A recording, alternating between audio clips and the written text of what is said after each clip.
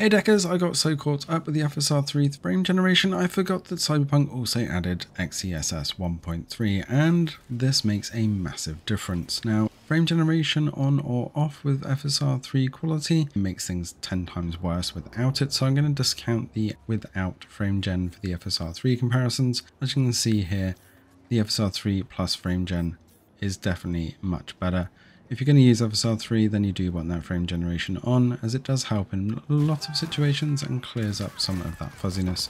But overall FSR 3 still does struggle, especially in Cyberpunk 2077 and the Steam Deck, with that quality as there's always a bit of fuzziness and the background always seems to sparkle somewhat.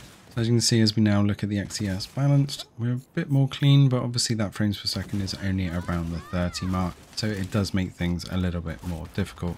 As we put them side by side in the motion, you can see just how much different this looks.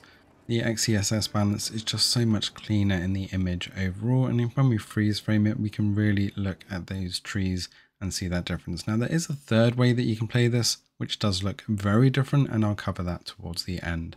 But for this, we are looking at the XeSS 1.3 on balance mode with 0.4 on sharpening and the low preset overall. So the only difference between this and the FSR 3 one is that FSR 3 is turned on on quality mode with frame generation enabled as well. So you see that that frame time does fluctuate quite a lot uh, just to fill in some of those frames. But overall, you can always see that fuzziness over XeSS. Now, XeSS isn't perfect it still dips down under that 30 quite regularly, although it is less often and it doesn't last very long. It does happen, but it does look a little bit cleaner in pretty much every scene. So although it's pushing the CPU up somewhat more, it does mean that you're going to get that cleaner image. Now, when we're driving around, this really does make quite a difference, although frame generation does feel quite nice driving around. It's just that fuzziness which can be a little bit annoying, and it really goes to show pushing the Steam Deck to the max when we hit Dogtown. So as we go through the loading section here,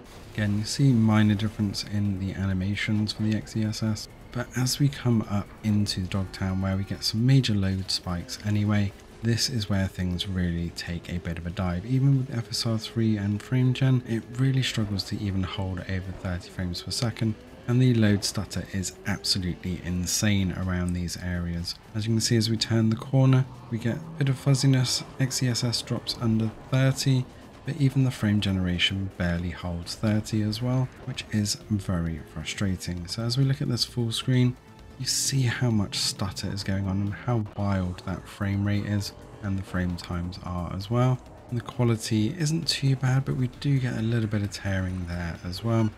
And things can be a little bit more hard to control with those load spikes. And even with the frame generation, we still dip under that 30 on some of those sections as well. So really struggling to hold that, pushing that APU to the limits.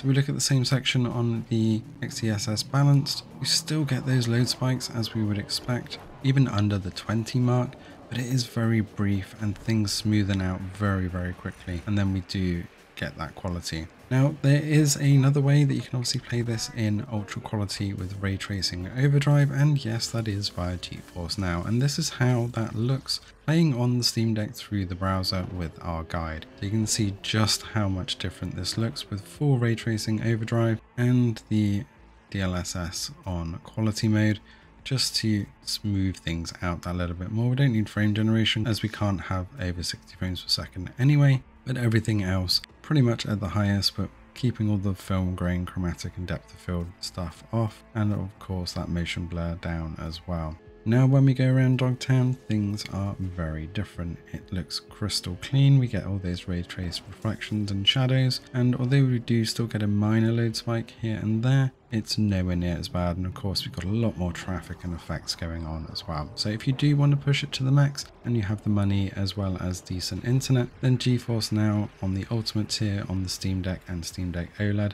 is just absolutely phenomenal and a fantastic way to play. There is a free tier you can test this out on, but you won't get the ray tracing effects, but at least you'll get a feel for how this performs on your network, and you can check out the guide to install this on your deck in the description below. Let us know in the comments below if you're going to be diving back into Cyberpunk 2077 and which way you're going to be playing. Thanks for watching, and see you in the next one.